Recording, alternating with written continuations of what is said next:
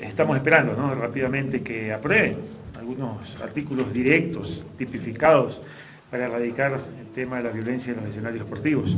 Así tendremos eh, mejores herramientas para poder prevenir, no lamentar. Queremos eh, solucionar gran parte de todos estos temas de inseguridad en los escenarios deportivos. Así que eh, es muy, muy importante los artículos que están eh, ingresados en el Código Integral Penal. Ojalá lo puedan aprobar y nos puedan servir ya prohibir la venta de bebidas de moderación.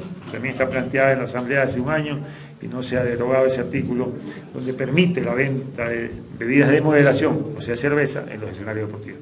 Creemos que no es conveniente que ya están para revisión final en instalaciones deportivas del Ministerio del Deporte, afinando el presupuesto. Está un promedio de 400, 450 mil dólares la cubierta, que serán eh, mediante un convenio traspasados los recursos a la federación y ellos llevarán adelante el proceso. Han demostrado la capacidad que tienen todos los integrantes de la federación, llevar adelante todo el proceso de compras públicas para hacer el techado del patinódromo.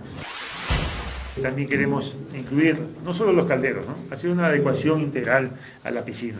Nosotros si nos metemos a hacer algo lo hacemos eh, integralmente. Así que he pedido a Mauricio que elabore un proyecto que si es necesario hacer la cubierta, los asentamientos, todo, adicional los calderos, que se pueda rápidamente hacer ese proyecto, que ojalá lo podamos hacer el segundo semestre del 2014, 2014 para que el primer trimestre podamos hacer el techado hemos desconcentrado los trámites que hasta eso que asuman las competencias a través de la zonal para que no tengan que ir a Quito, sino que ya aquí hay una coordinación zonal en la cual queda ubicada en Esmeraldas, en la cual tiene que ser eh, ingresada toda la documentación. Queremos hacerlo más ágiles, nos ha tocado muy duro, llevamos dos años y medio desde la ley del deporte que se aprobó, que dispuso que todos los organismos deportivos tienen que renovar sus estatutos y convocar elecciones, etc. También hay que decir las cosas, nos hemos equivocado. No puede ser que una federación de ligas barriales provinciales, en la cabecera cantonal, haya una liga eh, barrial cantonal.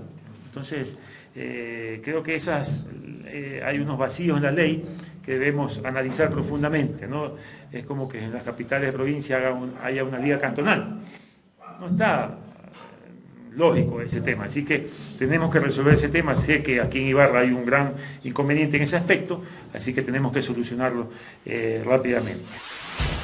Tenemos el compromiso de la coordinadora zonal de que todos los documentos, inclusive eh, yo ya firmé un, un acuerdo ministerial en la cual le delego la firma de responsabilidad de los acuerdos del deporte recreativo, para que ellos mismos tomen la decisión, la firma, de, firmar todos los acuerdos de clubes eh, recreativos. Así que queremos hacer lo más rápido posible. Eh, de ese trabajo se, trata para la desconcentración que aspira no solo en el deporte ecuatoriano, sino en todas las instancias del gobierno nacional.